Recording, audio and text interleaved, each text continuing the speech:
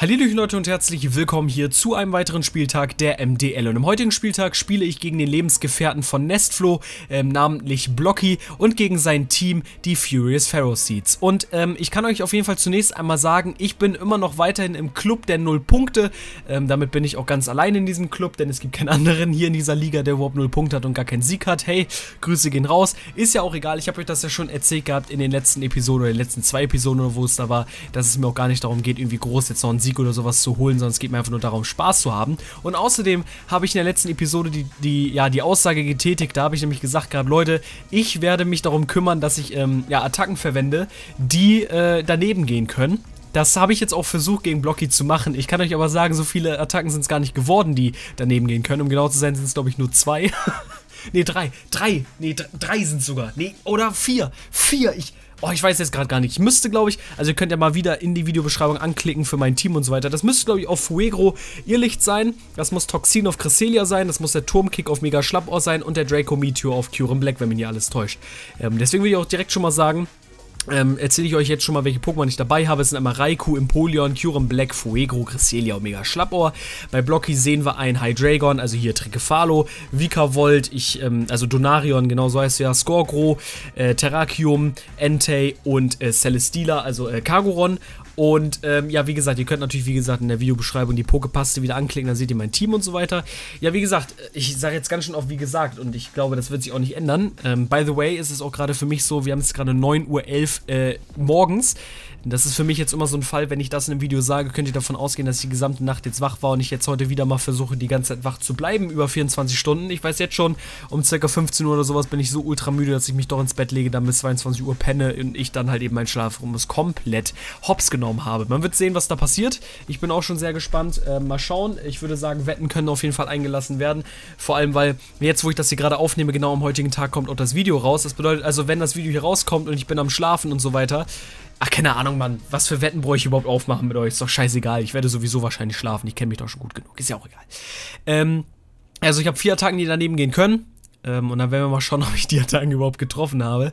Ähm, vielleicht werde ich es im nächsten Kampf ja auch wieder machen, höchstwahrscheinlich, weil, wie gesagt, es geht mir einfach auf den Sack, dass meine Opponent, meine ganzen Gegner einfach jede Attacke treffen und ich weiß, wenn ich das halt eben mache, treffe ich sie nicht. Deswegen sage ich jetzt No Risk, No Fun immer in den nächsten Kämpfen und werde Attacken dabei nehmen. Wenn ich die Wahl habe, eine Attacke mitzunehmen, die halt eben daneben gehen kann, dann werde ich sie nehmen. Dann werde ich daraus keine Wahl sehen, sondern dann werde ich die Attacke nehmen, die daneben gehen kann. Äh, und ja, ich würde sagen, ich fackel auch gar nicht lang rum, sondern komme auch zum Kampf hier. Ähm, zunächst einmal, wie gesagt, ich bin extrem müde dann auch zu dem Zeitpunkt jetzt zur Aufnahme. Ihr wisst immer, was das heißt. Das bedeutet also, ich kann die Turns einfach mal verkacken, falsch im Kopf haben und dann falsch benennen. Naja, wie dem auch sei, ich würde sagen, Kampf, let's go. Ähm, damit würde ich sagen, werden wir jetzt mal schauen, wie ich hier mich gegen Blocky geschlagen habe. Blocky ja auch jemand, der ähm, zum Vogelfänger geworden ist, beziehungsweise zum Pokémon, die schweben. Er packt hier Missgeburt 2 halt eben raus. Sehr schöner Spitzname in dem Fall. By the way, Grüße gehen raus an Kentakio, der mir hier die Spitznamen für mein gesamtes Team fertig gemacht hat. Und außerdem Dankeschön hier auch wieder an It's Tweef, der für mich, It's Tweef, Tweef, der das Video für mich aufgenommen hat. Also er liede mit Trikefalo, ich liede mit ähm, Raikou. Ähm, hier habe ich natürlich, ja, hier hätte ich auch zum Beispiel irgendwie Wahlschall oder sowas von ihm gesehen oder so. Das bin ich halt eingegangen, gehe auf Voltwechsel, weil ich gerechnet habe, nein, du bist, hast, hast Safe Call, bestimmt kein Wahlschall. Habe mich dafür entschieden, hier in Empoleon zu gehen, weil ich gesehen habe, dass beispielsweise, wenn er auf Erdkräfte gedrückt hat oder auf Erdkräfte drückt, das nicht so viel Schaden macht. Wir sind ja ein speziell defensives Empoleon. Meine Überreste triggern, hat auch Dark Pulse eingesetzt. Ähm, für mich war es jetzt hier die Chance, komm, ich gehe auf Ice Beam, ähm, weil halt eben Ice Beam unfassbaren Damage natürlich gemacht gegen Trikefalo. Man sieht hier Erdkräfte, wie gesagt, überlebe ich. Ich bin nicht auf den Ice Beam gegangen, ich bin nämlich auf die Tarnsteine gegangen, wie ich es nämlich gerade gesagt hatte.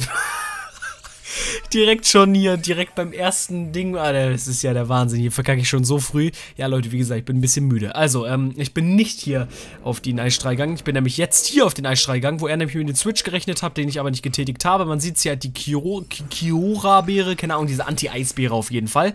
Ähm, die mich sehr überrascht hat. Dadurch macht der Eisbeam doch nicht mehr so viel Kiroya-Beere. Dafür macht der Eisstrahl jetzt nicht mehr so viel Schaden, was ja nicht unbedingt, ja, das ist natürlich jetzt äh, ein bisschen doof, weil das hat jetzt nicht so funktioniert, wie ich es mir vorgestellt habe. Er geht hier wieder auf die Finster-Aura, die auch ausreicht, um bei Empoleon rauszunehmen. Das bedeutet also, jetzt steht es 5 gegen 6 und das ist halt schon ziemlich blöd, weil Empoleon war halt eben ein Pokémon für mich, was halt eben auch Ersatz removen kann, nicht nur legen kann. Hier gehe ich raus mit meinem Mega Schlappohr, weil ich hier halt eben ähm, schneller bin als das Trigefalo und Frustration würde als, äh, halt eben rausnehmen, worauf ich auch gegangen bin. Nicht direkt auf den Turmkick, weil der halt eben missen kann. Da war das dann doch nicht so mit No Risk No Fun. Er geht hier auf Kagoron und hier habe ich mir sogar tatsächlich, als er schon reingeswitcht habe, äh, ist, habe ich mir gedacht, so okay, Kagoron wird wahrscheinlich ein defensives, ein physisch defensives Kagoron sein. Wir sehen es jetzt gleich, aber ich bin auf Frustration gegangen, was ja sogar Kagoron resistet. Aber man sieht trotzdem, ich weiß immer noch nicht so ganz genau, aber ich glaube, das ist gar nicht so physisch defensiv. Wir sehen aber den Beulenhelm auf dem Pokémon. Das heißt also, ähm, ja, gut gemacht von ihm auf jeden Fall. Hier will ich nicht drin bleiben, vor allem, weil so ein Airslash ganz schön auf den Sack gehen kann.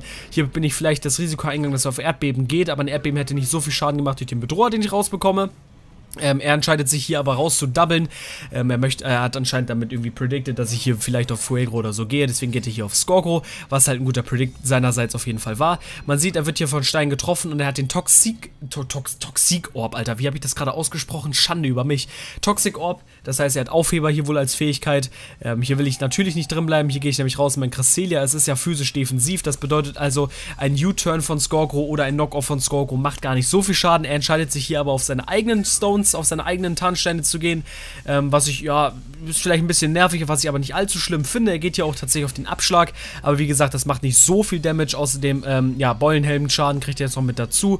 Und hier habe ich mich dazu entschieden, mit Cresselia einfach auf den Eisstrahl zu gehen, um mal zu schauen, wie viel Schaden das gegen Skorgro macht. Und ich sehe hieran, dass er auf jeden Fall, ich glaube, volles spezialdefensives Investment drin hat, was so eine wichtige Information rein theoretisch für mich ist, weil er jetzt vor allem auch mit Cat, wenn er rausgeht und das Skorgro irgendwann ja mal wiederkommen wird.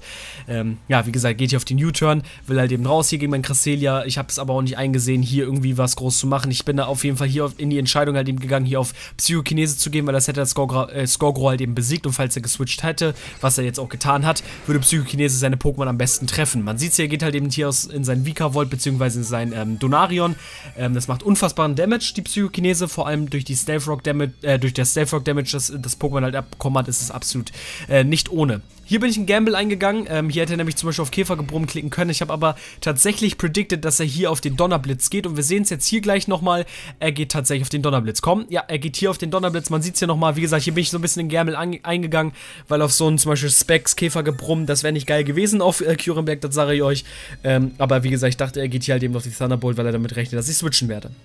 Jetzt bin ich draußen beim Curen Black und hier bin ich auf den Eisstrahl gegangen, ähm, weil das einfach sozusagen der beste Angriff war. Ich KO halt eben sein Donarion damit und ähm, ja, alle Pokémon, die er halt eben irgendwie hat in seinem Team, werden von Eisstrahl ganz gut eigentlich getroffen. Er geht in sein Skorgo also raus, zackt damit sein Skorgo. Das Skorgo stirbt also hier gegen meinen Curen Black. Somit steht es wieder 5 zu 5. Man darf auch nicht vergessen, auf beiden Seiten stehen hier Tarnsteine, das heißt, es ist relativ spannend. Er bringt hier sein Entei raus, was eine gute Entscheidung seinerseits natürlich war.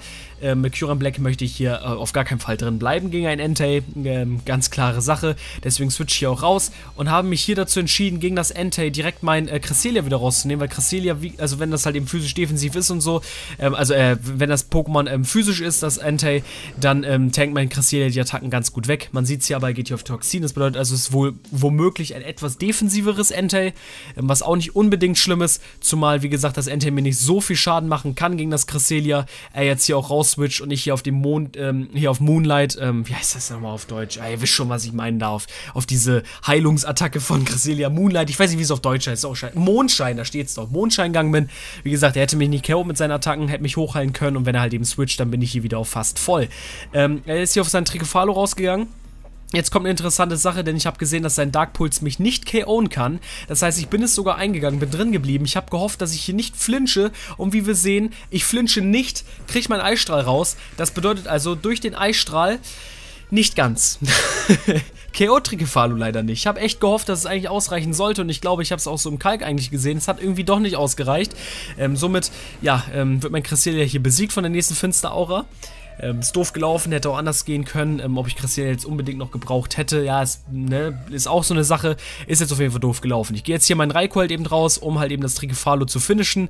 Habe mich hier dafür entschieden, ähm, auf Donnerblitz jetzt zu gehen, nicht auf den Voltwechsel. Voltwechsel wäre doof gewesen, weil er hätte eher die Switch Advantage auf meinen Raikou bekommen, äh, äh, auf mein Pokémon bekommen, was ich reingeswitcht hätte. Und äh, Donnerblitz, ja, der Crit hat natürlich nicht gemändert. Und der Donnerblitz ähm, würde halt eben alle seine Pokémon, die er reinswitchen kann, halt eben sehr gut treffen ähm, und außerdem auch das Trikefalo rausnehmen. Er geht hier raus in, oder er geht hier rein in sein Terrakium. Und hier habe ich mal wieder einen Scarf zwar gerochen, bin aber das Risiko eingegangen, hätte auch daneben gehen können, wenn er hier Scarf gewesen wäre und schneller gewesen wäre als ich, ist er aber nicht. Voltwechsel kommt also hier mal wieder durch, macht unfassbaren Damage. Und ich kann hier rausgehen in mein Fuegro, um halt eben den Angriff minus auf das äh, Fuegro ähm, auf das ähm, Terrakium rauszubekommen, was nicht schlecht für mich ist, das ähm, äh, könnte ich auf jeden Fall gut gebrauchen. Er geht hier tatsächlich sogar auf den Schwertanz, was mir ein bisschen Sorge bereitet, was ich ein bisschen uncool finde. Ähm, und ähm, ja, wenn, ich bin jetzt hier auf den Ironhead komplett gegangen, was aber nicht wichtig ist, denn er haut hier halt eben direkt seinen Z-Move raus, was auf jeden Fall mal Fuegro aus dem Spiel nimmt. Ähm, ja, also wie gesagt, Fuego musste ich halt eben hier machen, weil man, wenn er halt eben Schwertanz, was er auch gedrückt hat, ähm, Schwertanz geht, würde er halt eben in Anführungszeichen nur auf plus 1 gehen. Ähm, wenn er vielleicht nur angreift, hätte ich die Chance gehabt, das zu überleben, solange es halt eben, also ich glaube, der Z-Move hätte auch Minu auf minus 1 ausgereicht. Ich glaube aber, wäre einfach nur so auf Steinkante oder so gegangen, glaube ich, hätte es nicht ausgereicht. Ich bin mir nicht sicher. Ähm, so ungefähr war es auf jeden Fall, wie dem auch sei. Terrakium bringt hier mein ähm, Fuego um mit dem Z-Move ähm, und somit habe ich jetzt aber hier die Chance, ganz einfach auf mein Schlappout zu gehen. Ich weiß ja, dass das Pokémon nicht gescarft ist, sondern halt halt den Z-Move hat. Und hier war es dann für mich so, er geht jetzt doch bestimmt Safe-Call in sein, ähm, in sein Cargoron und hier gehe ich dann halt eben auf den Turmkick, was er auch tatsächlich macht. Er geht hier in sein Cargoron, hier gehe ich auf Turmkick, weil der Turmkick extrem Schaden gegen Cargoron rausballern halt eben kann und äh, ich, man sieht es jetzt auch, ich treffe den sogar tatsächlich, was ich unfassbar geil finde und das Cargoron überlebt das so gerade noch so. Erinnert mich so ein bisschen an Trikefalo.